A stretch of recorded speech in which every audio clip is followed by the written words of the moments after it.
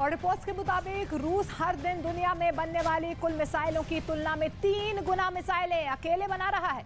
तो वही रूस के ताबड़तोड़ हमले की वजह से जेलेंस्की के चेहरे पर हवाइयाँ उड़ रही हैं। और यही वजह है कि अब यूक्रेन नेटो से हर दिन भारी तोप, लंबी दूरी की मिसाइलों के साथ लिए अब लगातार गड़गड़ाता नज़र आ रहा है।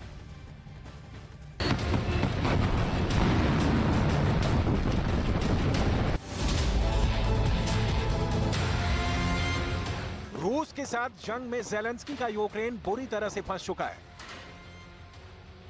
हैरानी की बात तो यह है कि जिस रूस को हराने के दावे यूक्रेन, अमेरिका, ब्रिटेन और नाटो में शामिल 30 देश चीख चीख कर कर रहे हैं, वो रूस यूक्रेन पर 4000 किलोग्राम से ज़्यादा वजनी केंजल जैसी हाइपरसोनिक मिसाइलों से हमला कर रहा है।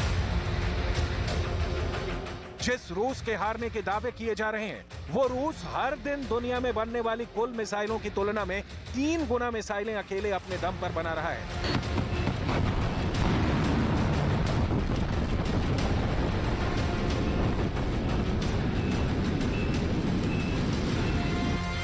आखिर हारता हुआ रूस ऐसा कैसे कर रहा है? आप खुद देखिए। रूस के हमलों से 45 साल के जेलेंस्की के चेहरे पर हवाइयाँ उड़ रही हैं। वहीं दूसरी तरफ़ 70 साल के पुतिन हथियारों की फैक्ट्री में घूम रहे हैं। सिमुलेटर में लड़ाकू हेलीकॉप्टर के हमलों को परख रहे हैं।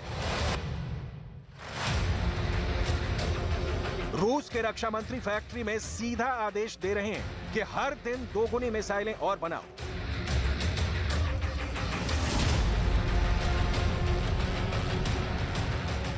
сокращение издержек, затрат.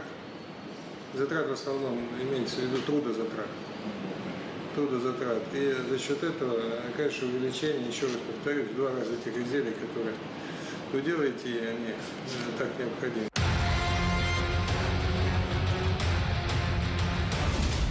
दोगुनी मिसाइलों से दो गुना हमले रूस दोगुनी रफ्तार से मिसाइलें बनाने के दावे कर रहा है। आखिर हारता रूस ऐसा कैसे कर सकता है? जबकि जीत का दावा करने वाला यूक्रेन नेटो से हर दिन भारी तोप, लंबी दूरी की मिसाइलों के लिए गिड़गिड़ा रहा है। 321 टैंक 200 लड़ाकू विमानों के लिए जेलेंस्की ने पूरा ज़ोर लगा दिया। लेकिन अभी तक जंग में नेटो के सबसे एडवांस हथियार दिखाई नहीं दे रहे हैं। ऐसे में सवाल उठता है कि क्या यूक्रेन को रूस हरा रहा है? या फिर नेटो यूक्रेन को जंग में हरवा रहा है, क्योंकि रूस ने जो अब दावे किए हैं, वो वाकई हैरान करने वाले हैं। जरा देखिए, अब तक रूस ने यूक्रेन को जंग में कितना ज़बरदस्त नुकसान पहुँचाया।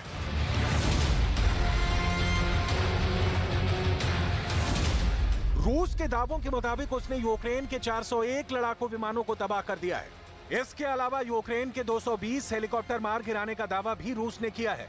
रूस ने तो यहाँ तक दावा किया है कि अब तक उसने यूक्रेन के आठ हज़ार दो सौ तिरानवे टैंकों को युद्ध में बर्बाद कर दिया है।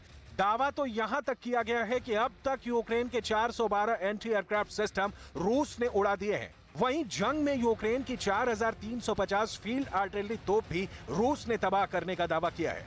इसके अलावा रूस ने दावा किया है कि उसने यूक्रेन के एमएलआरएस से लैस एक हज़ार सत्तावन लड़ाकू विमानों पर सीधा हमला करके नष्ट कर दिया है।